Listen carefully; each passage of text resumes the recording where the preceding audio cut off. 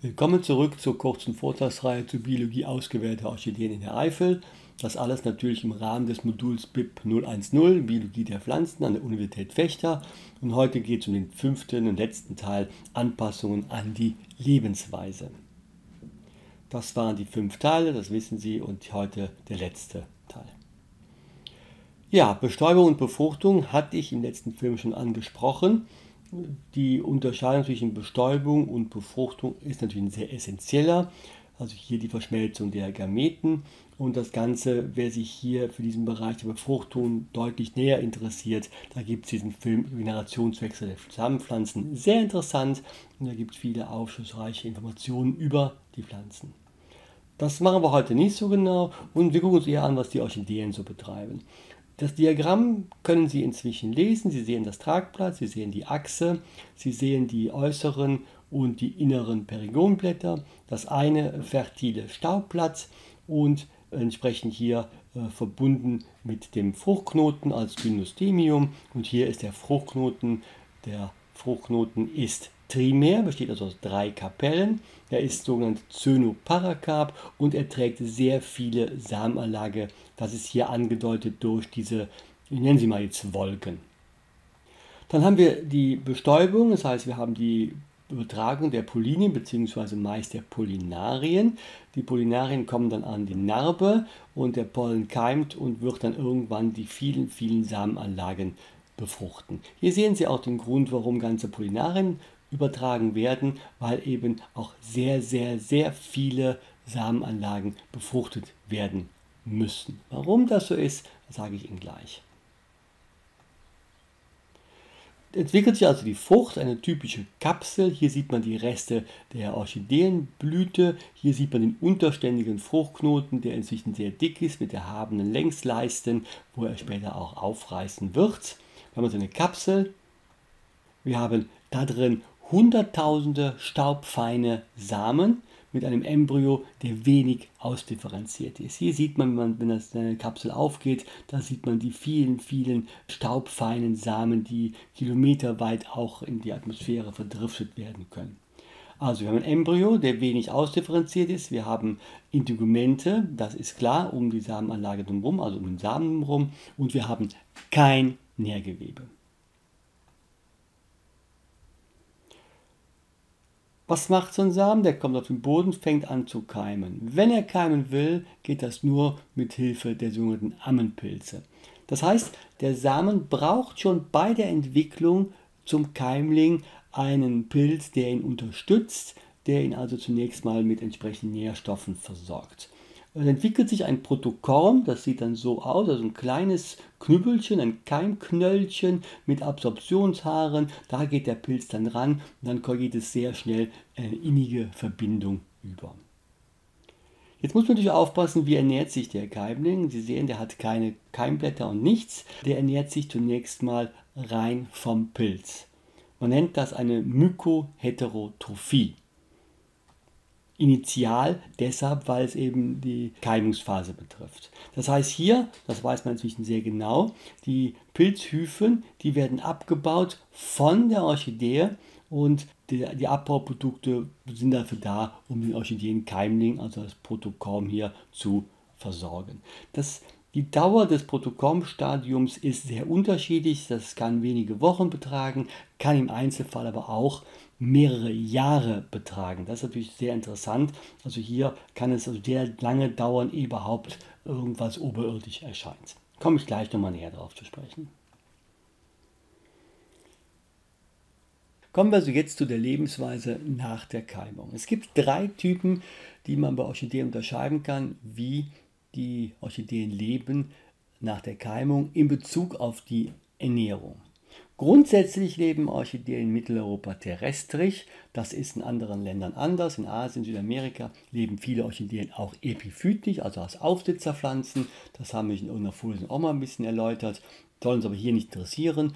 Für uns ist hier die terrestrische Lebensweise interessant. Und da gibt es eben drei verschiedene Typen der Ernährungsform. Das erste, was man so weitläufig kennt, ist die autotrophe Ernährung, also Entwicklung grüner Blätter. Wir machen Photosynthese und zusätzlich gibt es eine Symbiose mit Pilzen, die Mykorrhiza. Darauf komme ich später nochmal genauer zu sprechen, aber zunächst mal das, was viele, viele grüne Pflanzen ebenso machen. Als Typus für eine solche Ernährung nehmen wir hier mal das gefleckte Kerbenkraut, Dactylorhiza maculata, äh, das ernährt sich so.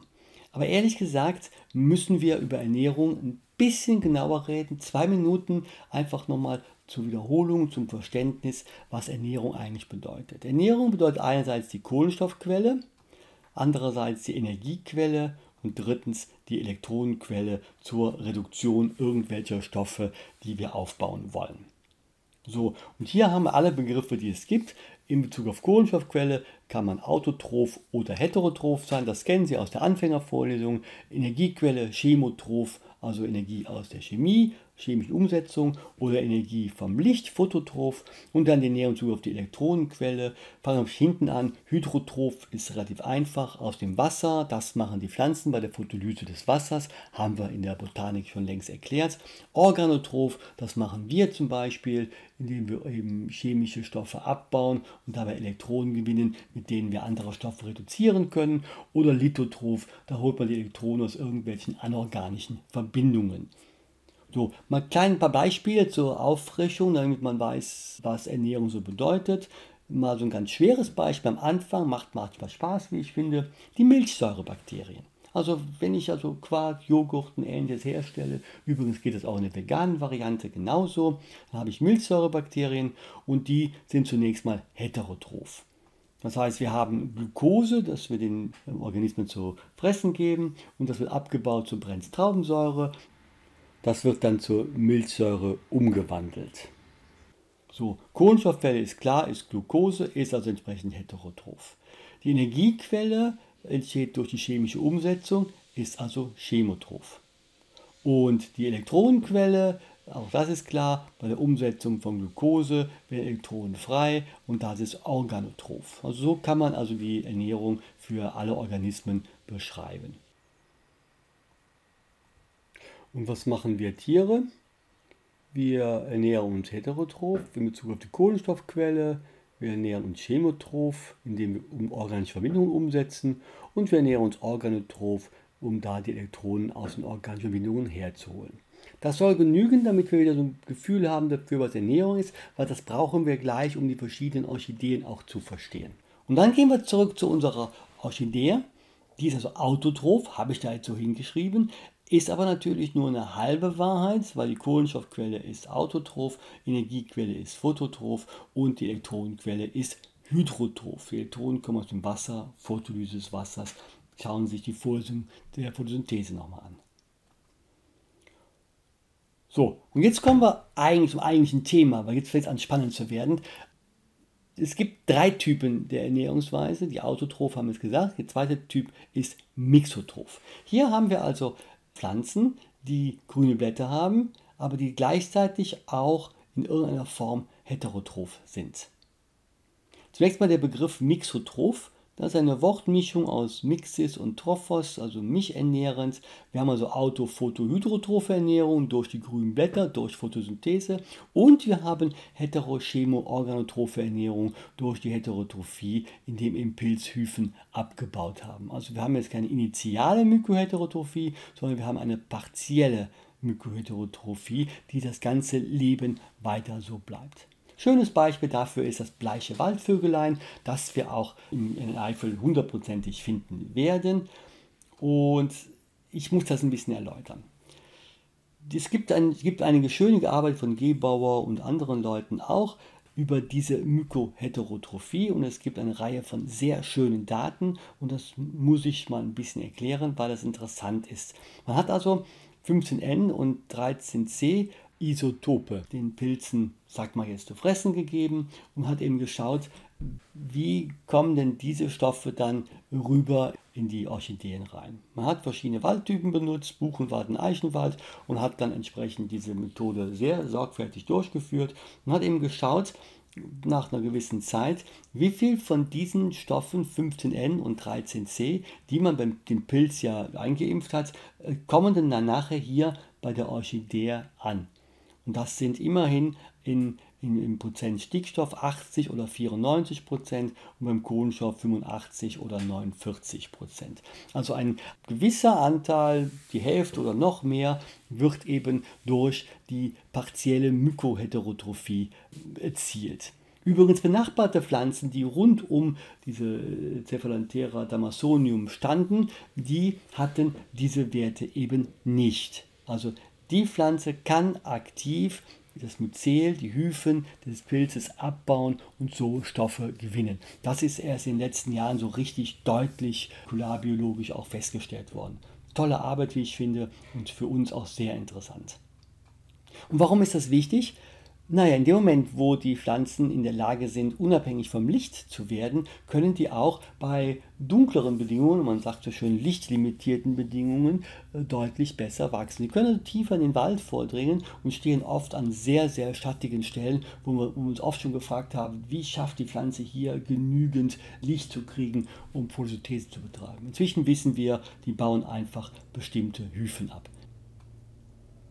Der dritte Typ ist dann mykoheterotroph. Das heißt, wir haben gar keine grünen Blätter mehr, sondern die Pflanze lebt eben nur noch von dem Abbau der Pilzhyphen. Hier als schönste Beispiel bei den Orchideen Neotia nidus avis, die Vogelnestwurz. Auch die gibt es an verschiedenen Stellen in der Eifel. Auch die haben wir in den letzten zehn Jahren jedes Jahr gefunden. Ich bin also auch sehr zuversichtlich, dass wir dieses Jahr finden. Das heißt, wir werden alle drei Lebens- oder Ernährungstypen finden können. Zur Mykoheterotrophie muss ich den Begriff Saprophyten erwähnen. Das war immer so dieses Phänomen, ja, Neotia lebt als Saprophyt, ähnlich wie ein Pilz. Also man ernährt sich von totem organischem Material. Das habe ich noch tatsächlich als Student so gelernt, ist aber nicht aufrechtzuerhalten. Es, bislang ist keine einzige Pflanze bekannt, die totes organisches Material zur Ernährung benutzt. Pflanzen nutzen jedenfalls nach bisherigem Kenntnisstand, kein totes organisches Material. Auch das ein klarer Begriff. Die Vogelnestwurz ist also ein Schmarotzer. Damit sind wir beim nächsten Punkt, Schmarotzer. Schmarotzer sind parasitäre Pflanzen und es gibt die Vollschmarotzer und die Halbschmarotzer, Holoparasiten oder Hemiparasiten. Die Voll Parasiten oder Holoparasiten haben kein Chlorophyll, keine grünen Blätter und die ernähren sich vollständig vom Wirt. Die Halbschmarotzer haben noch Chlorophyll bzw. Blätter, grüne Blätter und die bekommen vom Wirt Mineralien und Wasser. Es gibt spezielle Saugorgane in beiden Fällen, sogenannte Haustorien und hier haben wir oft eine hohe Wirtspezifität und die hier sind wenig wirtsspezifisch. Schmarotzer gibt es eine sehr schöne Familie in der Eifel, die Orobanchaceae, die Sommerwurzgewächse, von denen wir eine Reihe sehen werden. Und darum gibt es jetzt hier den nächsten Einschub innerhalb des Einschubes sozusagen, nämlich die Orobanchaceae. Einmal kurz erläutert. Es gibt da Hemiparasiten und Holoparasiten und wir werden vier wichtige Gattungen in der Eifel sehen. Die Sommerwurz, das Läusekraut, der Klappertopf und der Wachtelweizen. Fangen wir mit der Sommerwurz. Da haben wir bisher zwei Arten gefunden, Orobanche rapum geniste und Orobanche caryophyllacea. Die sehen so aus, ziemlich bleiche, relativ bizarre Gestalten, sehen so ein bisschen aus wie vertrocknet vom vorigen Jahr, sind aber tatsächlich blühend, zurzeit in voller Blüte und ich hoffe auch dieses Jahr, dass wir von diesen hübschen oder außergewöhnlichen Pflanzen Exemplare sehen werden. Die Entwicklung, auch das muss man mal eben erzählen, die haben genauso noch kleinere Pflanzensamen als die Orchideen sie haben. Und auch hier ist nämlich das gleiche Phänomen. Wir brauchen die Wirtspflanze. Also muss ich eine Riesenmenge an Samen ausstreuen, um darauf zu hoffen, dass ich denjenigen oder dasjenige finde, wodurch ich keimen kann bei den Orchideen, die müssen halt den Ammenpilz suchen und hier, die müssen halt ihre Wirtspflanze suchen und diese, die Keimung entsteht dann, wenn bestimmte Stoffe, äh, Strigolactone, die von den Wirtspflanzen ausgeschieden werden, erkannt werden und dann keimen diese kleinsten Samen hier und wachsen dann direkt zum Wirtswurzel, dringen da ein, bilden ein Astorium und dann machen die eben ein Protokorm. Das nennt man natürlich hier wieder anders. Tuberkelstadium, gar nicht so wichtig. Aber das ist der erste wichtige Schritt. Und in dieser Phase kann nun die, die Pflanze mehrere Jahre unterirdisch sich entwickeln. Keine Chloroplasten, keine Photosynthese, die ernähren sich vollständig von einer Wirtspflanze und das kann Jahre bis Jahrzehnte dauern, bis dann irgendwann bleiche Sprosse nach oben entgebildet werden. Die haben dann nur ein paar Schuppenblätter und dann haben wir in den Achseln, äh, gibt es ja entsprechend die Blüten. Wenn wir die Pflanze dann vor Ort sehen, schauen wir uns das nochmal sehr genau an. So, und jede Pflanze bildet über 300.000 Samen und dann wieder eine Windausbreitung und dann auf der Suche nach dem nächsten Wirt. Schauen wir uns das nochmal an. Hier haben wir Orobantia rapum geniste und hier Caryophyllacea. Und Sie sehen schon die Namen Ginster Sommerwurz und Nelken Sommerwurz. Das ist schon ein deutliches Zeichen darauf, wer der Wirt ist, sehr wirtsspezifisch.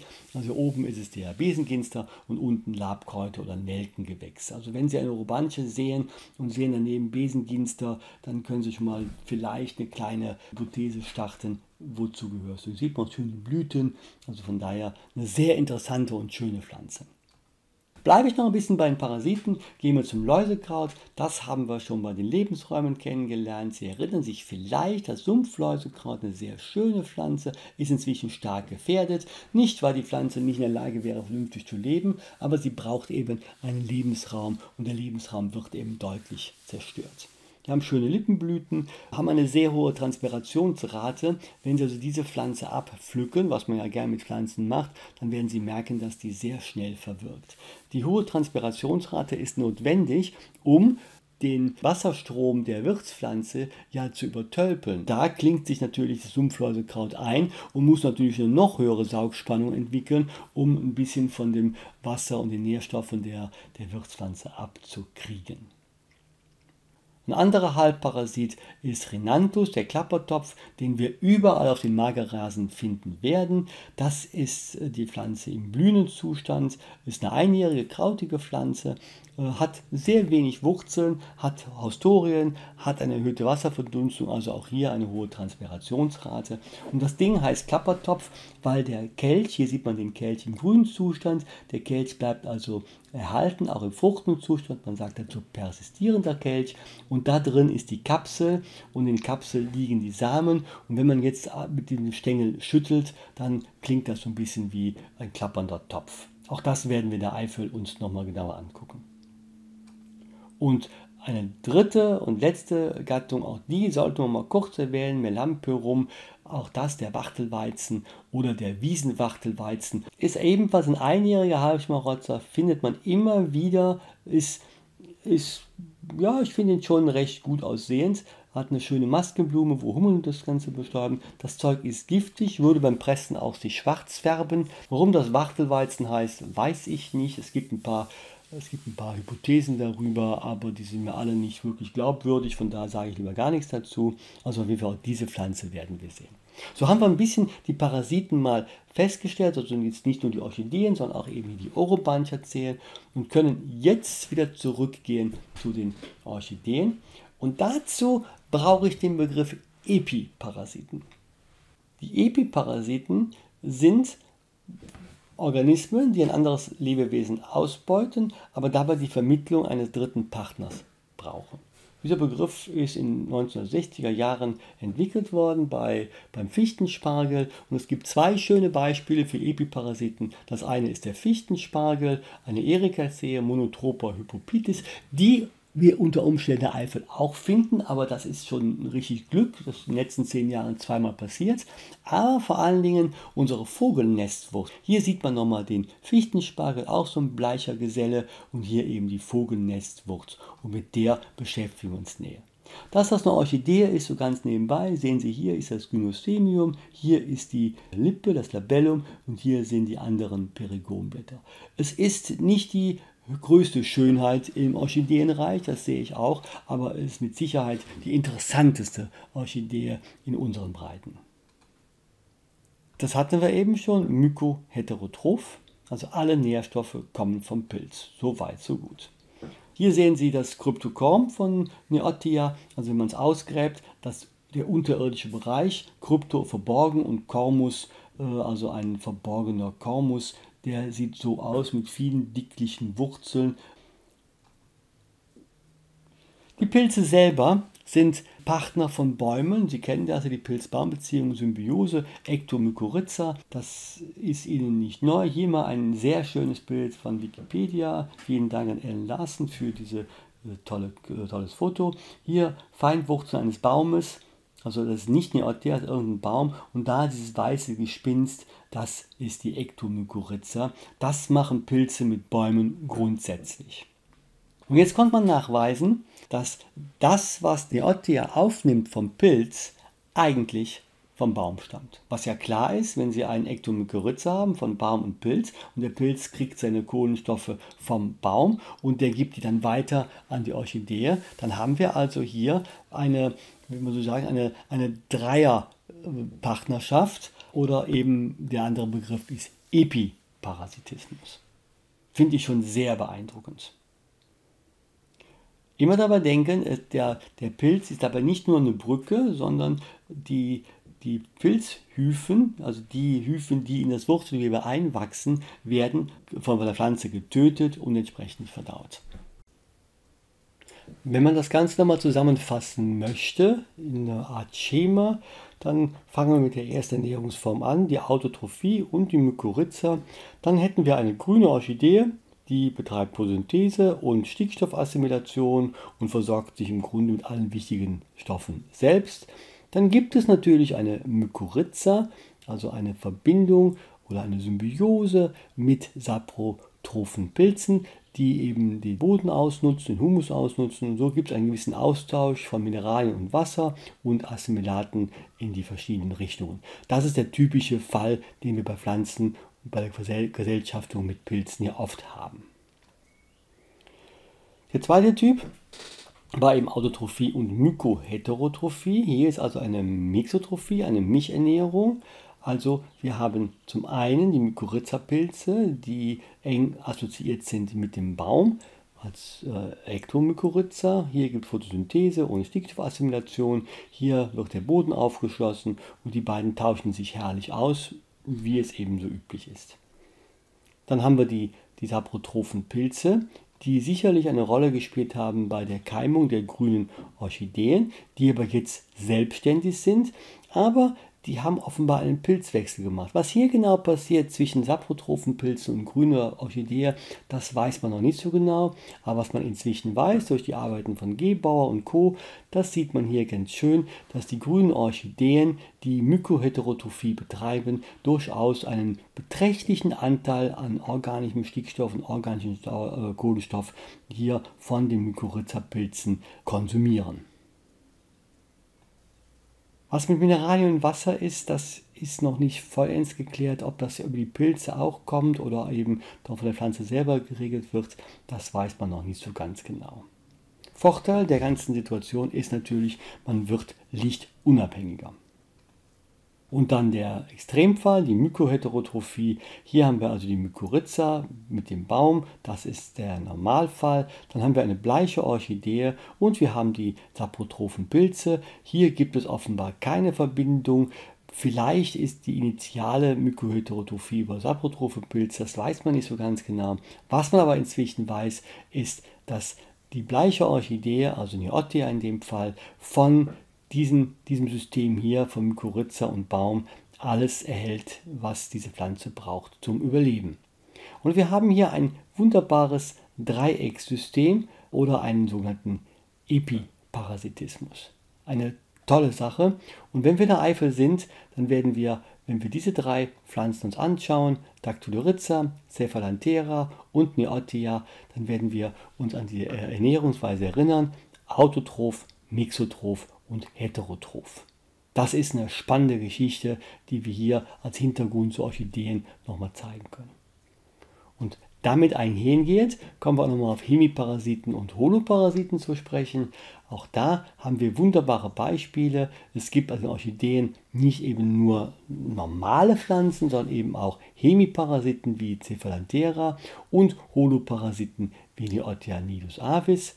Und wir haben eine zweite Familie, auch das sollte man nicht vergessen, auch das ist äh, sehr interessant, die Orobanchaceen mit Hemiparasiten wie den kleinen Klappertopf, den wir oft sehen werden, und mit Holoparasiten wie Orobanche, da bin ich mir noch nicht ganz sicher, wie oft wir die sehen werden.